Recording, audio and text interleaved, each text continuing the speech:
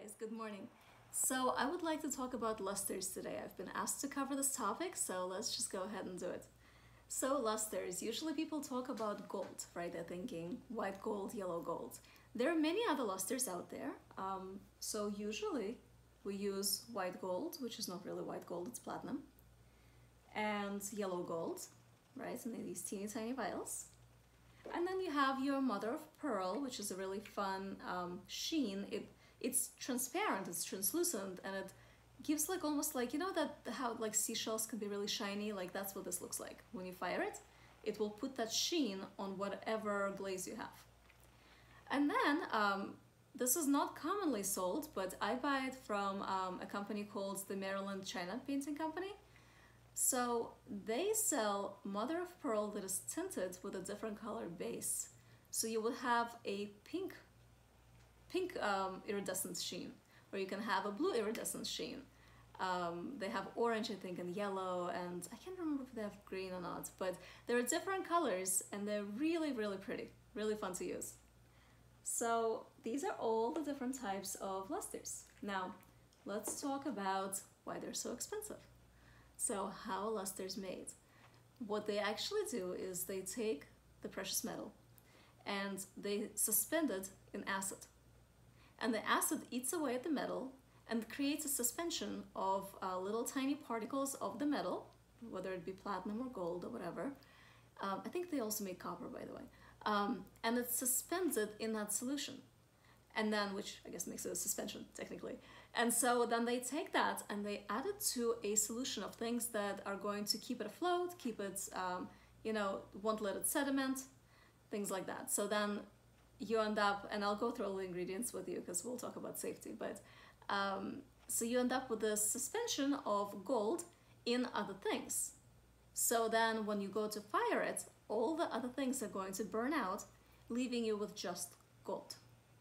Which is why the yellow and the white gold is usually food safe, after firing only. Okay, when everything else is fired out, all the bad stuff is fired out, what you're left with is food safe gold.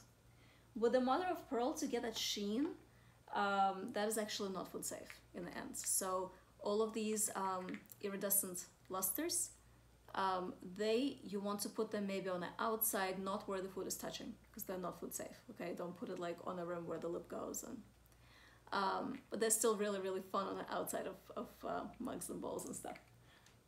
All right, so um, we're talking about firing. So let me just talk to you about how to fire them. Then we'll track back a little bit and talk about how to apply them. So these guys, this is a third firing, meaning that you have a glazed and fired piece that is complete. It's done, it's ready to be used, but now you're putting some gold on it. So what you'll do is you take that finished glazed piece and you apply the gold and then you're gonna put it in for another third firing, okay? These get fired at really pretty cool um, temperatures, relatively speaking. So usually I fire them at cone um, 018 and 019, not to be confused with cone 18, okay, which would destroy my kiln. Um, but some China paints get fired at like 015, so this is right in between. So um, I, I, think 018 to 020 I've heard is the range for, for them. Um, I do 018 and 019 personally in my kiln. Um, the one thing about firing these guys is you have to make sure that you give your pieces enough space. You have to separate them. Do not crowd your kiln.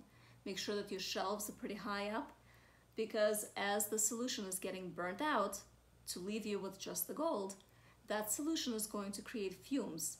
And what that can do is it can actually affect um, the piece that's next to it. So it won't, it won't come out shiny. It won't come out like with a beautiful gold, you know, sheen to it. So make sure that you space them apart. I actually fire my kiln open because my kiln is outside. So um, when I fire gold, I fire the whole entire time with the lid cracked open. Do not do this if your kiln is indoors. Okay, if it's indoors, please make sure that you're relying on your vent, which will be perfectly fine. You're good to do that. Um, I, I don't actually vent my kiln. I um, use regular air. I'm like really old school, but I use regular air to um, to vent my kiln, and um, the, the way I load it, I create airflow. So um, for me, because it's outside, I can let those fumes go out, that's not a problem. So I actually fire open, okay? So that's as far as firing now. Let's go back and talk about, okay, how do you put this stuff on? So you have your glazed piece and you're gonna use a brush and you're going to apply, say, a thin line of it. You have to be sure that you didn't put in too little or too much. If you put in too little and your line looks like it has almost no color, when you fire it, it will come out like a smoky gray. Now, it has been used on purpose. People have done that where they paint on the gold luster and then they take a cotton ball and they like take most of it off. And when they fire it, it looks like smoke. Like you could paint on a campfire, do that, and it looks like your campfire is smoking, you know? So there are some things that you can play around with. But if you want a real gold effect, you want to make sure that your line is nice and solid red or solid green, you know, whatever um, the tint is in your solution. Now, be careful, don't put in too much because if you put in a line and you see that it's starting to drip, those drips are going to drip more in the kiln, okay? They're gonna run. And then you're gonna end up with uh, some things you have to fix later, and that's not so much fun. So if you see it starting to pool, you have two options. You can take a brush and just try to take off the excess carefully, um, or you can take the whole thing off and redo the, your design in that part of the mug. So to take it off, um, usually we use denatured alcohol.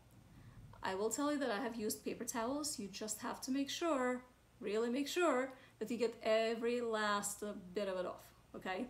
Because if any is left behind, you're gonna get that smoky color where you didn't want it, okay? So um, you can absolutely take it off. It's not a big deal. It's actually more forgiving than underglaze or glaze um, as far as like taking off your application and redoing it. Um, it's just expensive because the vials are so expensive that um, you know if you keep doing that you're wasting a lot of gold but um, but it's easy to do. It's easy to take it off. You know you just wipe it off you let it dry and then you try again. Super easy. Now you actually can take it off once it's fired too. Gold is a very fine layer. You know it's sitting right on top of the glaze. It is fused to it but if you take off the very top of the glaze layer the gold will come right off with it. Um, so like think about like your grandma's china, right? That has been washed like a gazillion times.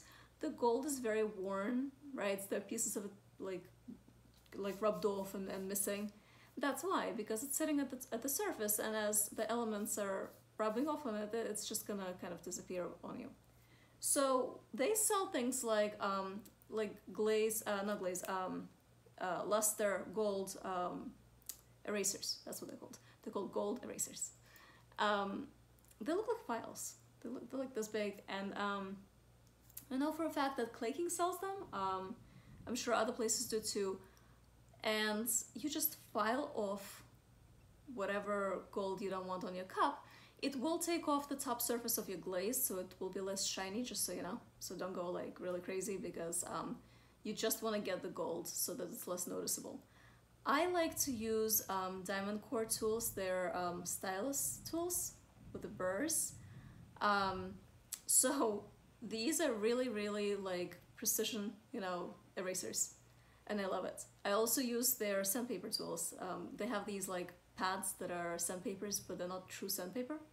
So they work also really well for larger areas. But, um, you know, all sorts of ways. I'm sure you could take like a pocket knife and just carefully, you know, rub off a little bit, um, but be careful, don't cut yourself. So you can fix it before you fire it on, and you can fix it after you fire it on. It's a lot easier than with the glaze. So don't be afraid to play with it. There are all these things that, you know, you all these fixes, you know, during application, after application, um, and it's really fun and it really gives your piece a different, you know, very cool new look. Now, the one thing that you have to be careful with lusters is um, their safety. So always, always, always read the MSDS for the product that you use. But um, these lusters, so the problem is uh, they have a lot of ingredients, okay? And I actually, I have a full list of them, but um, it, it's a lot of ingredients and most of them probably will be quite, uh, you know, meaningless to, to most people. But what I want to impart onto you is that a lot of them are very um, irritating, right? So they can be irritating to your eyes, to your lungs or to your skin. Now, that can also mean that they are carcinogenic. Okay? Before you freak out, you have to think about your exposure. Exposure is measured over time, right? Amount over time. So if you're making golden mugs, that the whole thing is gold, and you're doing it all day, every day, you need to be so, so careful and you need to go like wear the maximum protective equipment you can, you know, the hazmat suit, I don't know, whatever it takes. Um, if you're putting in like gold rims and you're doing it once every three months, you know, your exposure is so much less. So um, I wouldn't worry too much about the carcinogenic effects um, and just mostly focus on the irritating effects, okay? So, what does that all mean? The company recommends that you apply these in a, in a well-ventilated area. Um, they have a very strong smell to them, so you will know if your area is not ventilated because you'll walk in like five hours later into your studio and you'll be like hit with the smell. They almost smell like nail polish, like it's that type of smell. Um, my one word of caution is that if you can, try to do it outside. Reason being is because, um, so say you applied a lot of the lusters, right? And you wore a mask. And that's great, okay? So you were protected while you had the mask on. But what happens the next day when you go to do something else, right? To you go to wedge your clay and you're still exposed to the fumes because the fumes are still in the room and um, you know even well ventilated rooms like it will take a while for that to dissipate um, so if you can if your weather is conducive you know try to do it outside otherwise make sure that your brushes are washed you don't wash them in water you wash them in um, they sell essence it's basically oil you guys they use oil um, so you wash your brush off in the oil so it's not sitting there with luster on it smelling up the room you want to make sure that your bottles are capped as much as possible when you work on it, also so you don't spill it because they're expensive. Um, but make sure that your bottles are capped. Make sure that you're not sniffing it. You know, make sure it's not close to your face. Um, do not wipe it off with your fingers off of your piece. It's really tempting because it's like, oh yeah, I got a smudge. Don't use bare skin because it can be irritating to the skin. So the types of things that they have in them, some of them sound so benign that you wouldn't think that they're irritants, you wouldn't think that they're bad for you, but they are. Um, some of them contain eucalyptus extract, rosemary extract. They sound nice, right? Natural, but it all depends on the amount. So um, they are irritants. Okay, so be careful with that. They have turpentine. Um, they have uh, dichlorobenzene.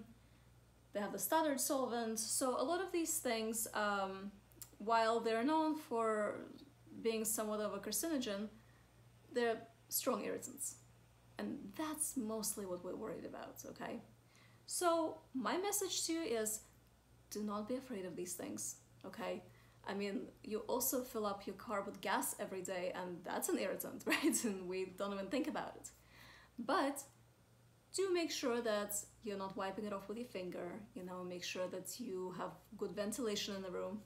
Um, if you can, go do it outside. Um, if it's close to your face, wear a mask because you don't want to be breathing it all in. You know, hopefully, even if your ventilation is not so great um, and you were doing it inside, the next day, all of the fumes are not right in front of your face. They have dissipated and, you know, the, the concentration is a lot less, so it's a lot less irritating.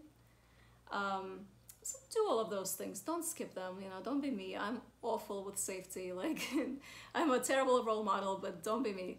Um, you know, use definitely use um, you know face mask if, if especially if you're indoors. Um, do it outside if you can. You know, all the things that I've mentioned. Don't sniff it. Don't drink it. You know, it is toxic. It has a lot of bad stuff on it. Um, all that stuff is not such a big deal. It will get burnt right out, but it's not something that you want to like swim in. You know. Um, so that's about it. Um, as far as so I, I covered safety with you guys, which is a major thing. Uh, we talked about application, right? We talked about firing um, and what lusters actually are and why they're so, so expensive. If you guys have any other questions, please let me know. Let me know in the comments. Um, I do want to do another video next week, hopefully, so if you have any suggestions for topics, um, go ahead and list them in the comments as well, and I'm actually probably gonna keep a list and um, just go like down the list every week and make an instructional videos. Um, video, I can't talk today. I stayed up, we had a lot of classes last night, so I, I'm like dead tired. Um, but I hope this was helpful. I hope you guys have a great weekend.